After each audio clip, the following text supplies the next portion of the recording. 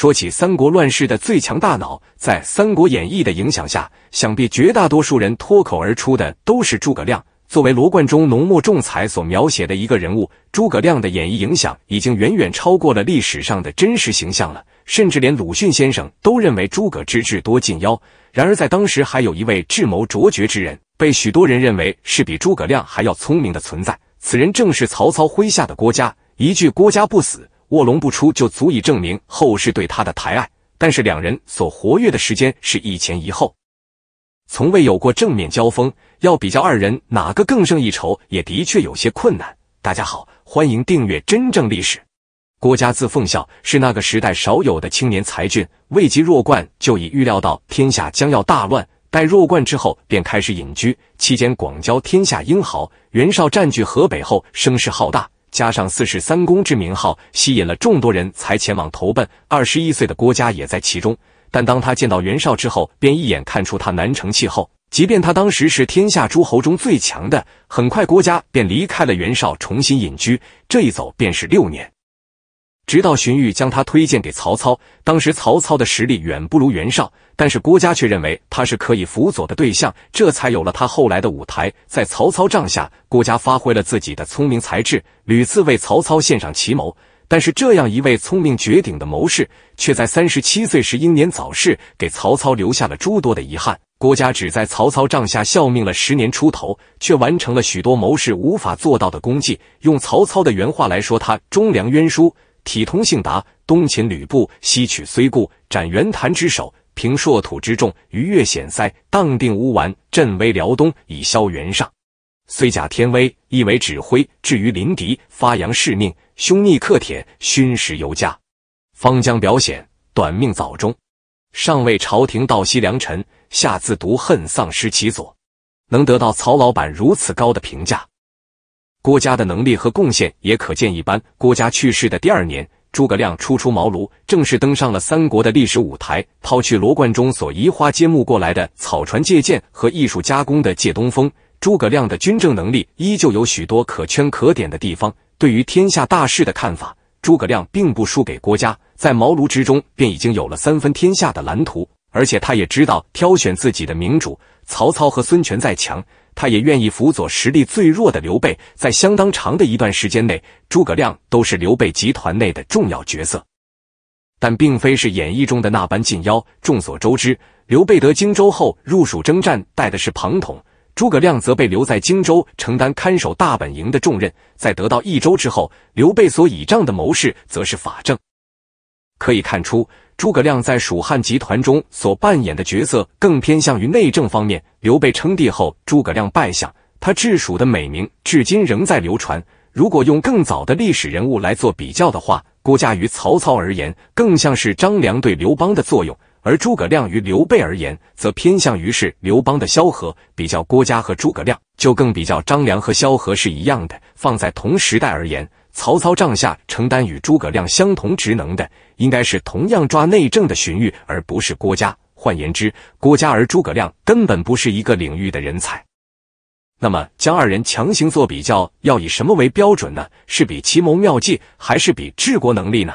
所以说。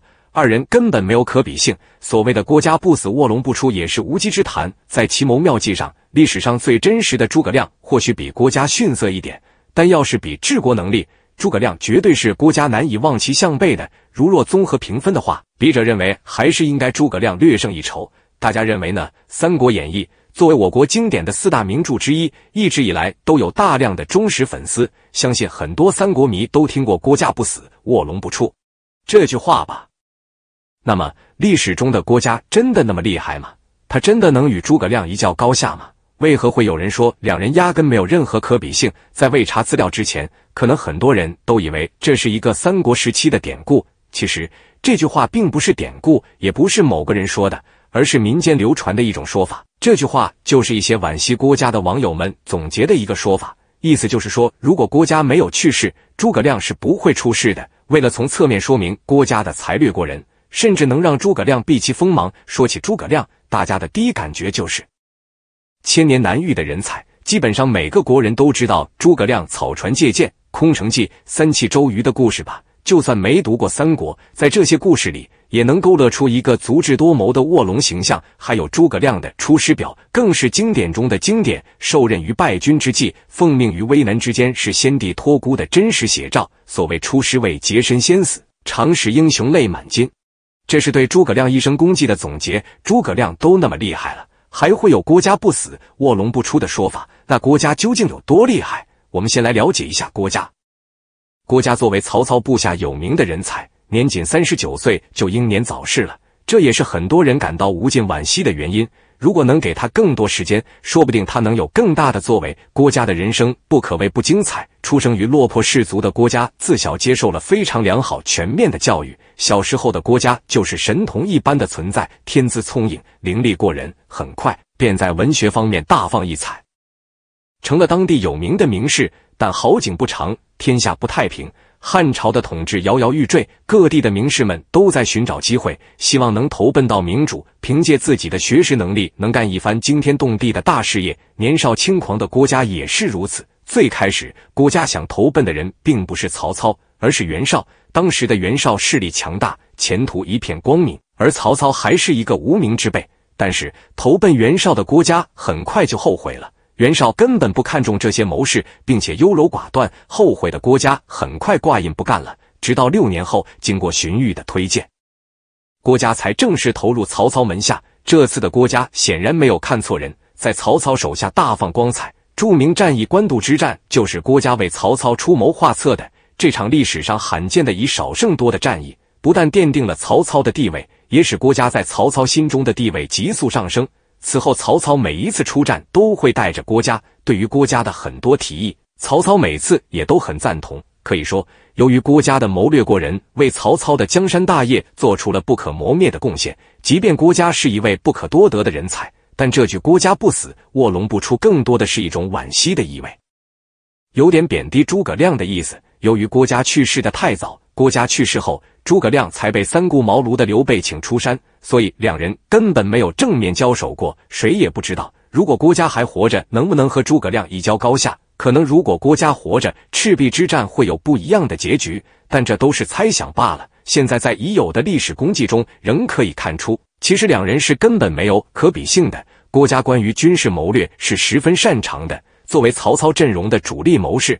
有了他，才使得曹操的成就达到了巅峰时期。可以说，在曹操平定北方诸雄、一统幽州、冀州、凉州等七州的路上，起到了关键且不可替代的作用。如果他还活着，曹操至少能少走许多弯路。但是郭嘉干的一直都是出谋划策的工作，在其他领域的才能并不出众。在军事谋略方面，诸葛亮可能真的比不上郭嘉。但是诸葛亮在交际和治国、内政与后勤方面的材料是郭嘉远远比不上的。诸葛亮最强的地方在于他的格局与综合能力。那么大一个蜀汉，基本上都是在诸葛亮的打理上显得井井有条，能以一己之力抗下整个蜀汉的安危，并将蜀汉的弱势地位化，被动为主动，这都是郭嘉做不到的。但是这可能也有郭嘉早逝的原因。如果郭嘉还能活着，可能他在其他方面也会有很强的天赋。从郭嘉的生平事迹就可以看出来，郭嘉是缺少民族感与忠义的，更像是一个精致的利己主义者。投奔新主后，一同对付旧主，不在乎自己本身的身份，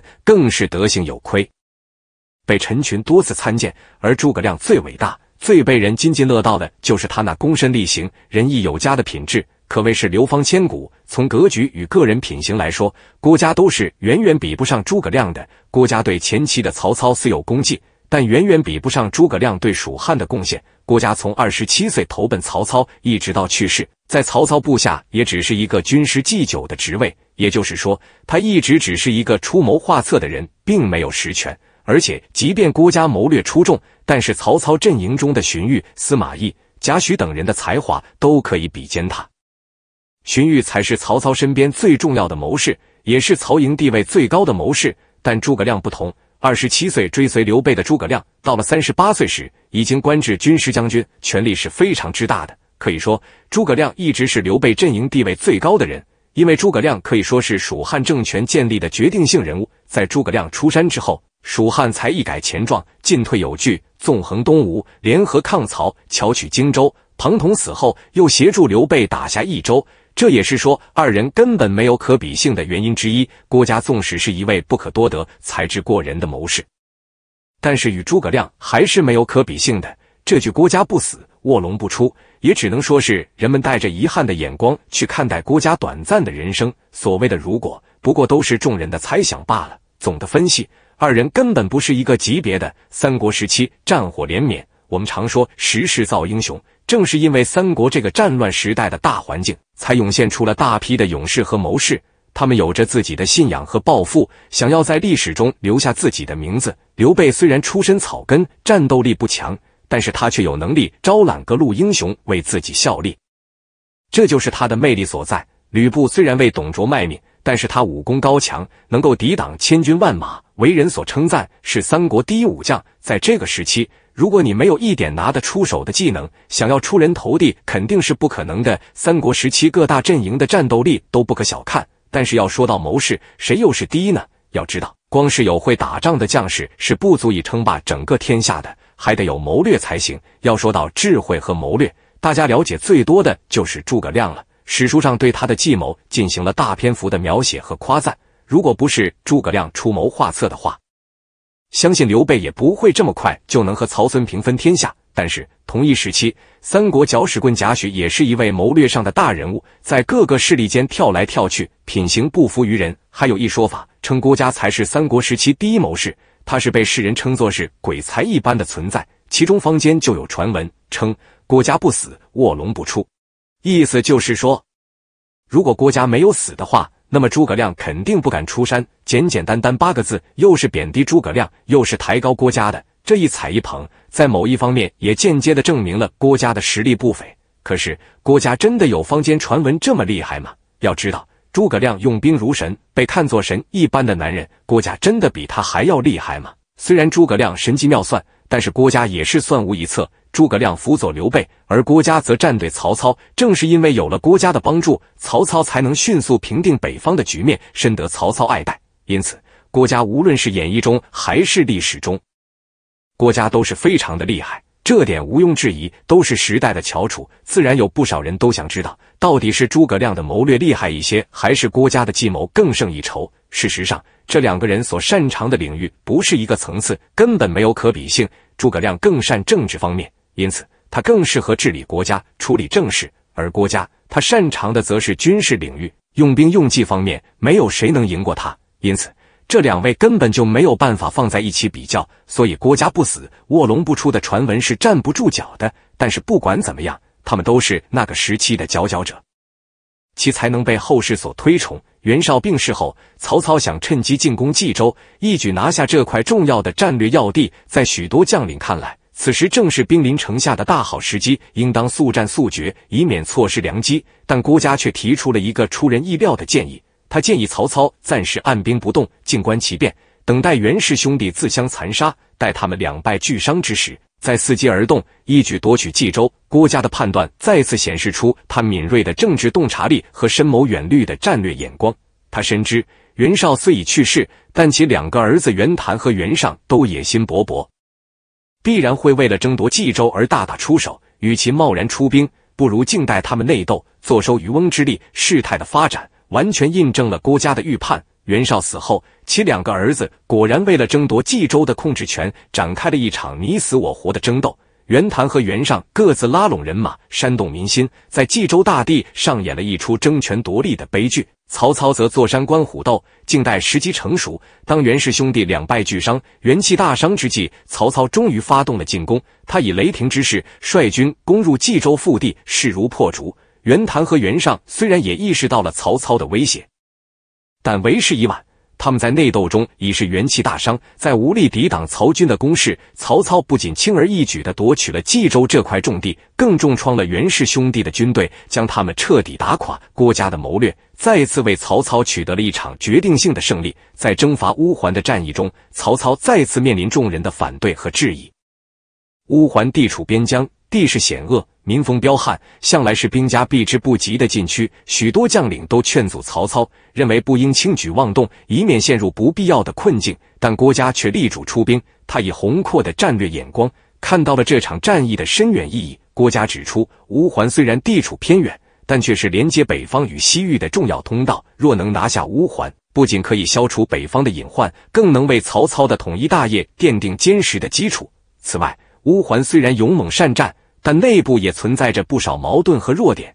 只要以迅雷不及掩耳之势发动进攻，必能出其不意，一举拿下乌桓。在郭嘉的谋划下，曹操以闪电般的速度率军突入乌桓腹地。乌桓军队虽然勇猛善战，但面对曹军的突然袭击，仍然措手不及。曹操军以迅雷不及掩耳之势攻入乌桓的心脏地带，将其主力军团一举歼灭。这场胜利不仅让曹操拿下了乌桓这块战略要地，更为他日后的北伐奠定了坚实的基础。然而，命运却跟郭嘉开了一个天大的玩笑。就在曹操统一北方、准备乘胜南下之际，郭嘉却突然病倒了。这位曹营的军事奇才，此时却躺在了病榻之上，面容憔悴，气息奄奄。曹操闻讯赶来，望着昔日意气风发的谋士，心中充满了不舍和悲伤。郭嘉虽然身患重病，但他的心中却始终装着曹操的大业。他知道自己时日无多，却依然坚持为曹操出谋划策，竭尽全力。郭嘉临终前，把自己多年的心血倾囊相授，为曹操规划了南下的种种策略。他分析了南方各国的形势，指出了进攻的时机和方略，更为曹操提出了一系列的应对之策。郭嘉希望曹操能够继承自己的遗志，完成统一天下的宏伟大业。他将毕生的智慧凝聚在这些策略之中。希望能够为曹操扫清前方的障碍，助他一臂之力。然而天不遂人愿，郭嘉终究没能看到自己的谋略付诸实践。郭嘉英年早逝，享年仅三十八岁。他的死如同一颗璀璨的星辰陨落，令曹操悲痛万分。曹操痛失一位得力助手，也让曹魏失去了一位军事奇才。